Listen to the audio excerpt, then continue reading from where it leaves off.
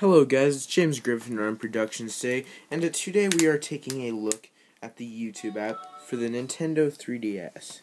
It just came out today, and it is pretty good so far. It took a while to get logged into James Gryffindor Productions because I have two accounts for some dumb reason. Because of Google Plus, and uh, yeah, would not let me select it until had some workarounds. But here is the YouTube app. I'm gonna do a video of um go to my subscriptions and I'll actually I'll show you one of my videos because it's my videos. So I click on my uh, channel here. Come on. It's loading my channel. Okay.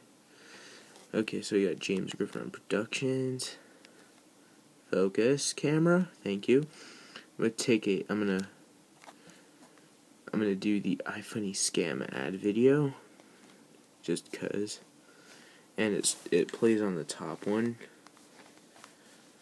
Not on the bottom screen, but the top screen has like info and a preview and all the controllers on the top it has your um video which is pretty nice.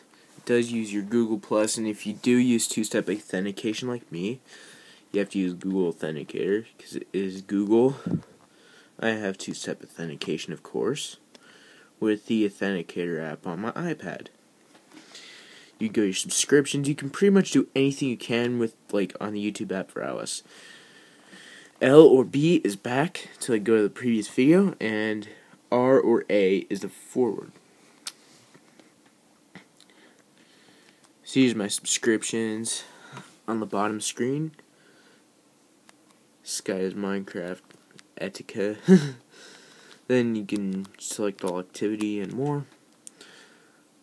I don't think you'll be able to upload from a 3DS YouTube app because a 3DS you can record videos, but I don't think you can upload. Let's see if you can upload. And it's it's very sensitive to tapping. I'm just scrolling and it clicks for some dumb reason. But there's no upload capabilities, just watching videos. At least you can use your own account, which is great. This is my review on the YouTube app for the Nintendo 3DS. Thanks for watching, everyone.